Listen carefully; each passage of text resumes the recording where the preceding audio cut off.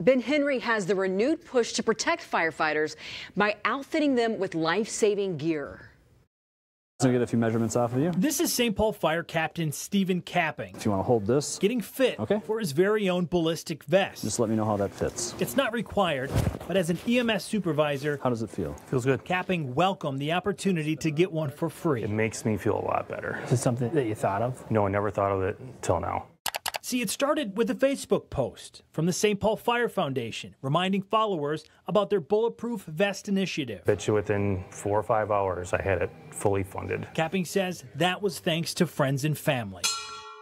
Empire to 45 183. The support came in the days following three Burnsville first responders shot and killed in the line of duty. We go on similar calls like that all the time. It could happen to any one of us. This vest that Ryan's putting on is a level two vest. At the Brooklyn Park Fire Department, those potentially life-saving vests have been part of their gear since 2020. Times are changing, and we need to do whatever we can to protect our firefighters, our paramedics, and our police officers. It's something we talk about more and more. I mean, Eric Bullen is president of the Minnesota State Fire Chiefs Association and chief of the Albertville Fire Department where after a dangerous fire call. And he was met in the backyard by the homeowner who had a handgun. Ballistic vests were purchased for his crews. But i would expect to, to see growing numbers. Um, we've had county chiefs meetings where people have asked what's your policy on this stuff? So even chiefs are, are taking a look at this as a department-wide initiative. A helper being helped how is that?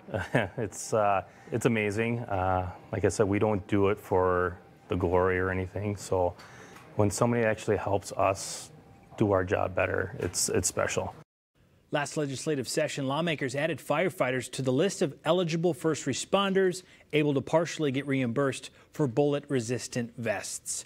Some of these vests are more than $1,000, and not all departments require them, so they have to get them themselves. That is, the firefighters. We have a link under the Featured on 5 tab on our app for people to donate to the St. Paul Fire Foundation's push. Lindsay, people can even make a note if they want to get it to a specific firefighter. Hmm. All right, Ben, we have to keep them safe best we can.